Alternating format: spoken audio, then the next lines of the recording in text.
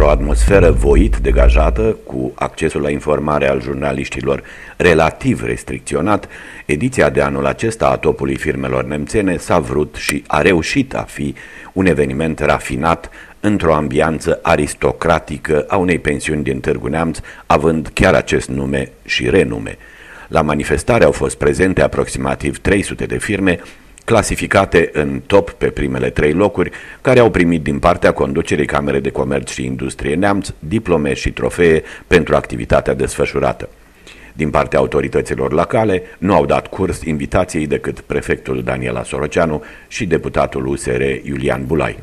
Este a 25-a ediție a Topul Firmelor, coincide cu uh, acest an deosebit în istoria noastră, uh, anul centenarului. Uh, ne-am străduit să oferim uh, oamenilor de afaceri performanți din județul Neamț uh, un eveniment pe măsura importanților în comunitate uh, și uh, în același timp încercăm prin acest uh, top să creăm o imagine corectă asupra mediului economic din județul Neamț, având în vedere că noi, Camera de Comerț, sunt cei care, suntem singurii care avem o lege care ne abilitează să întocmim acest top și acest top este întocmit doar pe baza datelor din bilanțul depus de firme, pe baza unei metodologii stabilite la nivel național.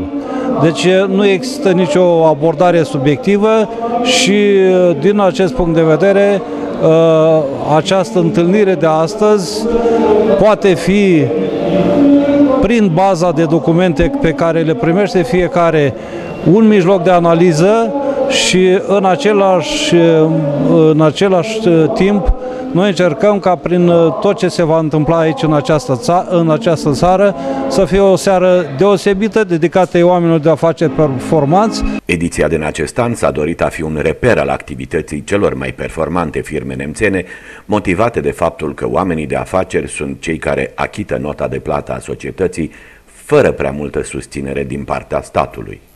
O seară care să rămână un reper în activitatea lor din, dintr-un an și mai ales să fie cunoscuți și poziționați corect în comunitatea din care fac parte. Pentru că omul de afaceri este cel care plătește și eșecurile politicienilor și succesele lor câte sunt, dar el este cel care în orice moment plătește facturile.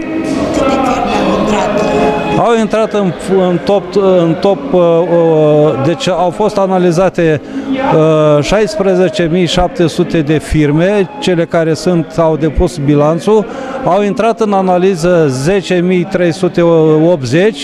și în topul final au intrat 1000 1374 de firme. Aici vor fi prezenți primele locuri, primele trei locuri, deci peste 300 de firme. Ceremonia de deschidere a fost prefațată de acordarea unor premii speciale unor societăți importante din județ care se mențin în topul firmelor de peste 25 de ani printr-o activitate performantă. Este vorba de Refill ESA, Mecanica Ceahlău, Köber, Marsat, TCE 3 Braz, Tehnoprod, Centrul Teritorial de Calcul și Pan Auto.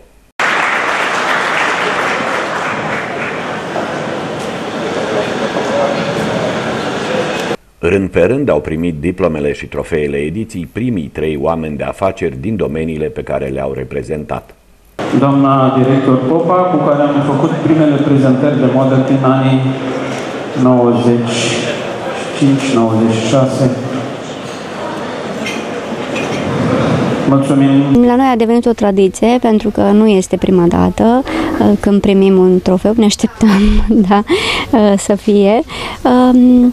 Um, ce înseamnă asta? Înseamnă multă muncă, perseverență, o relație specială cu clienții, o relație specială cu colegii, colectivul și uh, în general... Și faptul că lumea s-a obișnuit să vină chiar dacă la început abia se rezerva că e ceva mai departe de ce am uh, Da, și acum, și acum e, e aceeași. Uh, din uh, lipsa de timp, probabil că toată lumea vrea să-și cumpere din drum, cum fiecare facem, deci ne oprim la, în traseul nostru de la serviciu spre casă, dar având în vedere că m- avem cam toată gama de produse ce ține de librărie și am rămas uh, consecvenți în ceea ce privește librăria, n-am schimbat niciodată, nu ne-am gândit să schimbăm uh, domeniul de activitate. Uh, ne-am atras clienții noștri, putem spune că sunt prietenii noștri, avem o deviză, dacă o persoană intră um, ca, în calitate de client, când iese afară, e deja prietenul nostru. Atmosfera petrecerii a fost animată de nume de referință din showbizul românesc.